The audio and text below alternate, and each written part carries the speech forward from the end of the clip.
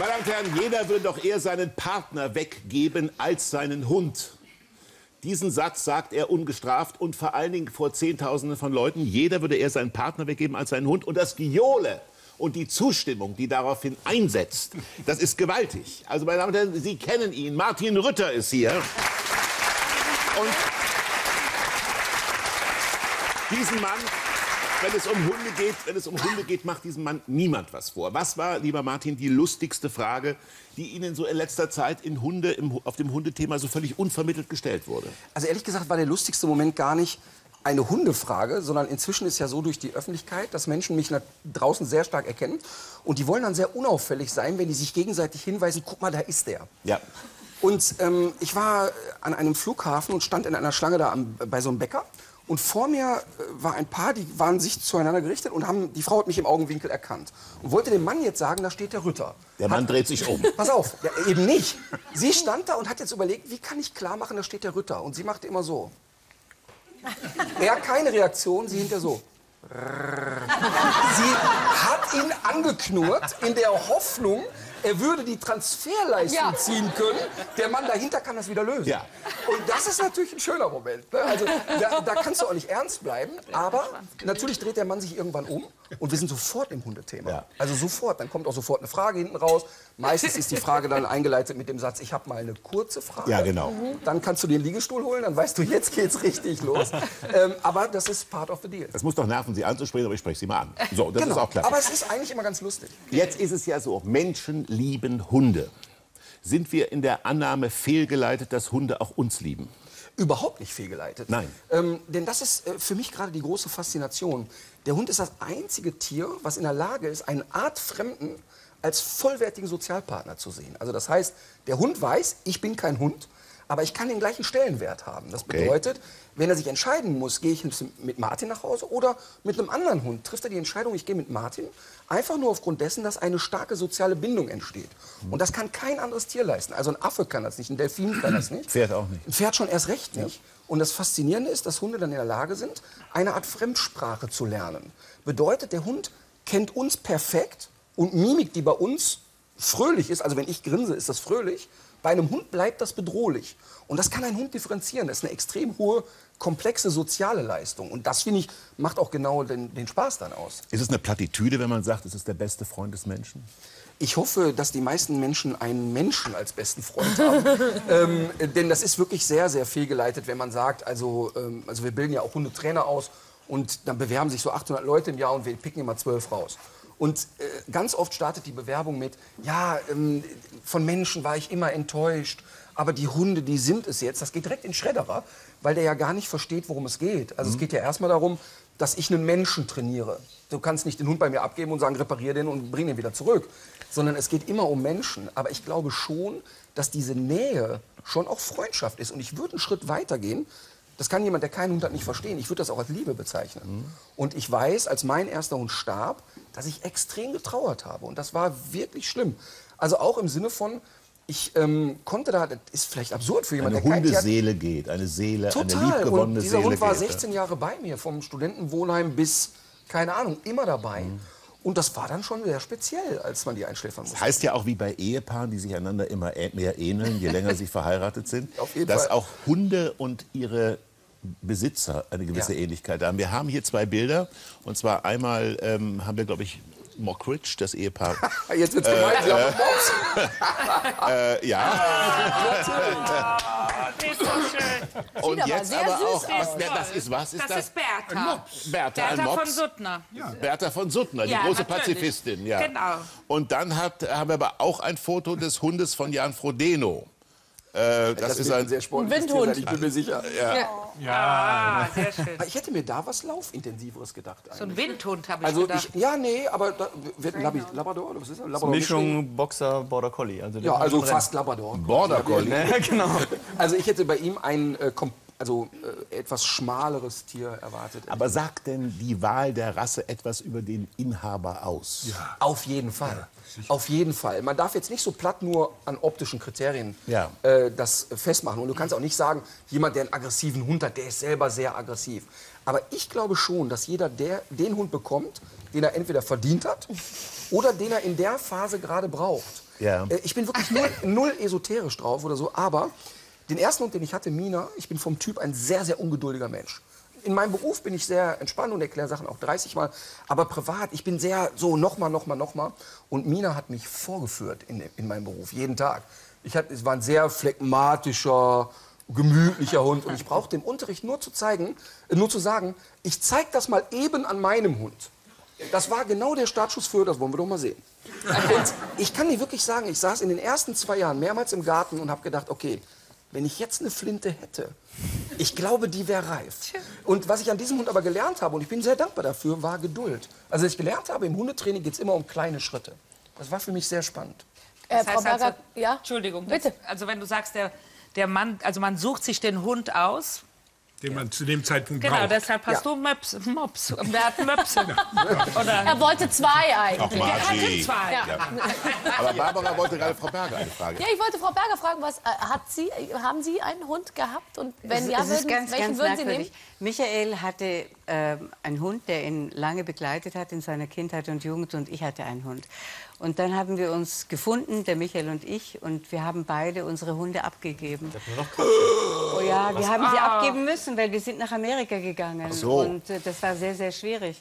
Ähm, Nicht ins Tierheim. Also, Nein, Nein, nein, das war um mir schon Gottes klar. Willen. Es war ein großer Schmerz. Ich Aber verstehe das sehr gut. Aber entschuldige, ähm, ich weiß nicht, ob das wahr ist. Ich meine, Sie kennen doch die Straßenhunde, die wir gerne äh, aus Griechenland mitbringen oder aus Indien mitbringen.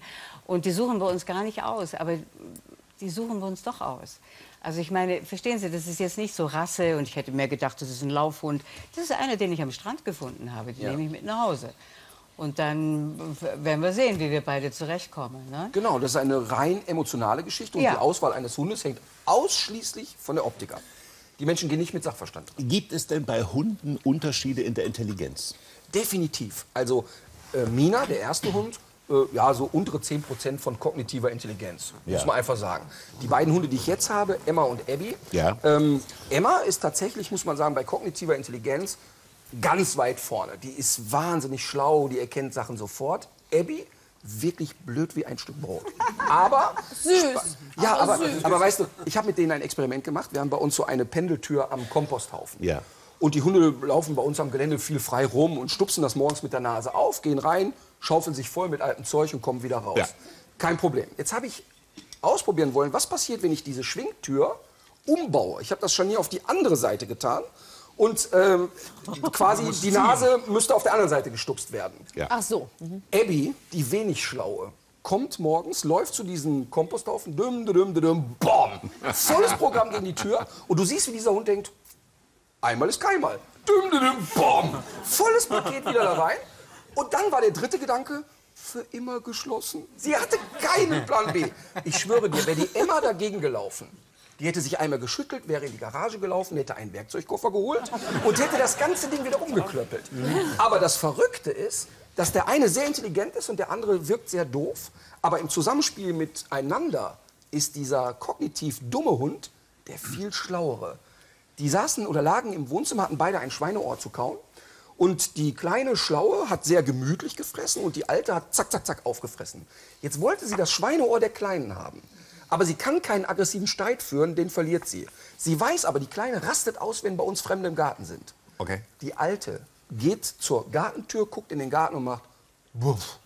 Die Kleine kommt, bam, bam, bam, bam, ein Riesenalarm in der Bude, spuckt das Schweineohr aus. In der Zeit geht die Alte hin, nimmt das Schweineohr und jetzt kommt das Verrückte. Sie hat es nicht gefressen. Sie hat es festgehalten und gewartet, bis der kleine Terrorist zurückkam und stand da richtig so, so, wer hat's denn jetzt? Ja? Und das ist doch verrückt. Das ist Intelligenz. Das heißt, das heißt, du musst, Du musst also bei Hunden, genau wie bei Menschen, differenzieren zwischen kognitiver Intelligenz und sozialer Intelligenz. Und bei Hunden ist es definitiv so, die mit sozialer Intelligenz kommen viel weiter. Olaf Schubert hat Angst vor Hunden. Warum? Aber er ist trotzdem ein guter Mensch. Naja, das wird sich noch rausstellen im Laufe des Das ist beruhigend. Naja, wenn, wenn sowas kommt, es hat Zähne, will was eventuell und ich, äh, ich habe nichts zu sagen, ne? also dann, äh, ja. Bist du gebissen worden oder hast du als, als Fußpfleger irgendwie äh, ein schlechtes Erlebnis gehabt? Ja, nee, mein, mein Vater hatte einen Hund und so und das war immer, wenn ich ge schon geklingelt habe, ne, dann, dann laut, will, kommt auf mich zu und so und ja, also immer der Fluchtinstinkt wurde da bei mir früh. Und das hat sich nie geändert, wirklich? Ja, mittlerweile weiß ich ja, was so, dass die so dann. Ich bin eher weg, bevor Hund und so. Also ich gehe geschickt aus dem Weg, soziale Wobei Kompetenz. Olaf mit Wildtieren sehr gut kann. Wir haben eine Sendung gemeinsam Mit moderiert. Wildtieren? Ja, oh ja, wir haben eine Sendung, mal eine große Abendshow gemacht, die große Tiershow und Olaf und ich haben das gemeinsam moderiert. Und seine Aufgabe war tausendmal komplexer als meine. Ich war immer auf den Hund spezialisiert und er musste zu Geparden fahren. Äh, er musste mit einem, ich glaube, Seelöwen kleine Übungen eintrainieren und so. Also er hat schon ein Händchen für Tiere. Das ist nicht so, dass er null Aber das sind ja hat. wilde Tiere, da muss man ja keine Angst haben. Eben. In, Im Bühnenprogramm Nachsitzen, das ist der Name des Bühnenprogramms, Ja. geben Sie Hundebesitzern ja, Hinweise, ich habe es schon erwähnt, wie man Hunde, äh, wie, wie man sie erzieht. Jetzt haben Sie ja sowohl Hunde als auch Kinder. Was Ja. ist der wesentliche Unterschied in der Erziehung von Kindern und Hunden? Also zunächst mal ist ähm, das Grundkonzept identisch. Es, es gibt immer ganz klar das Thema klare Regeln. Ja. Und die Regeln müssen aber verständlich sein. Das heißt, ein Kind muss die Regel irgendwo nachvollziehen können.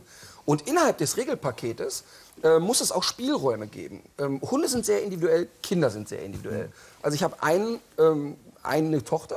Wenn du da einmal locker lässt, schaukelt die direkt am nächsten Tag am Kronleuchter.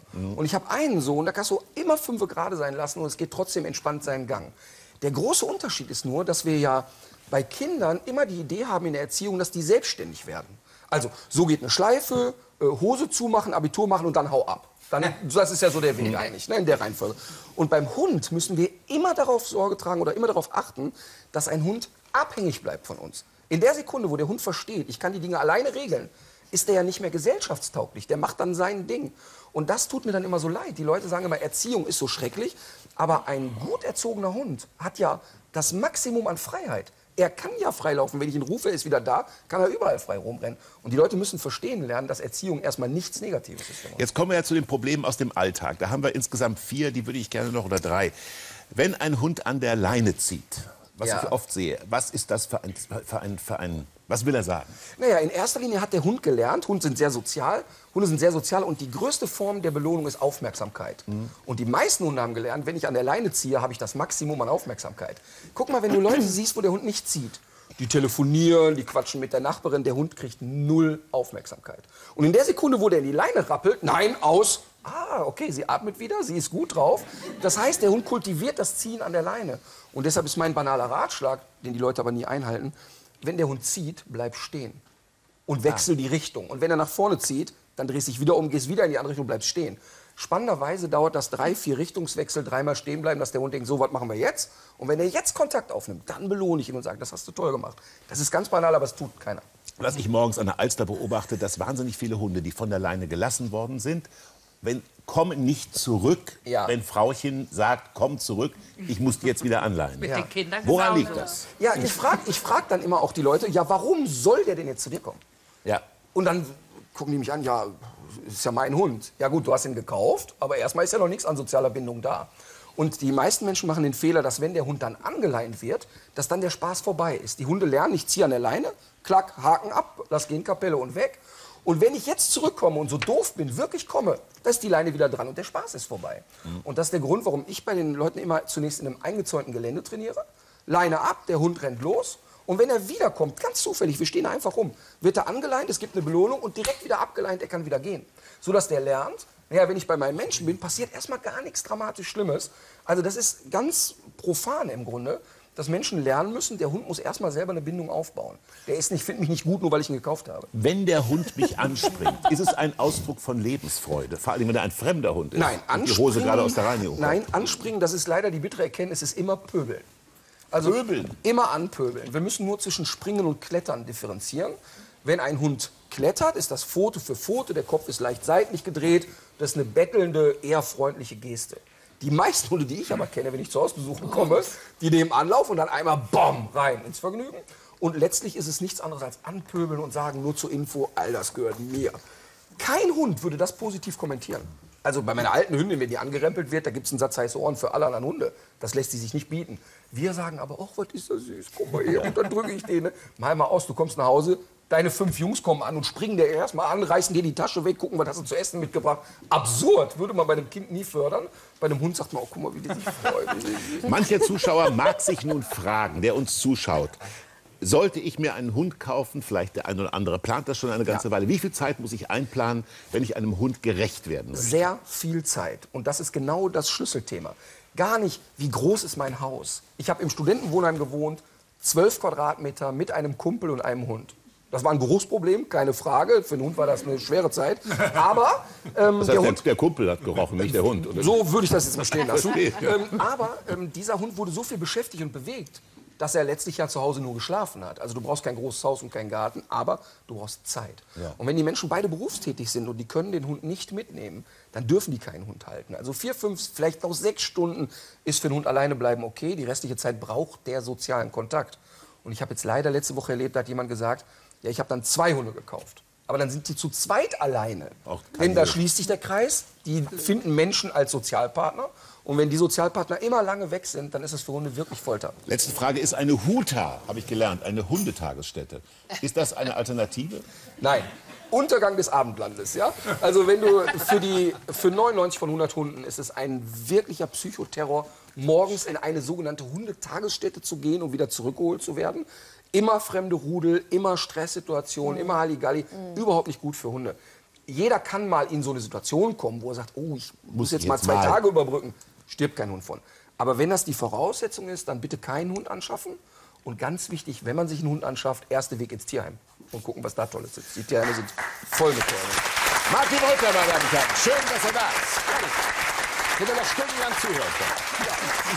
Das geht ja nicht. Nein.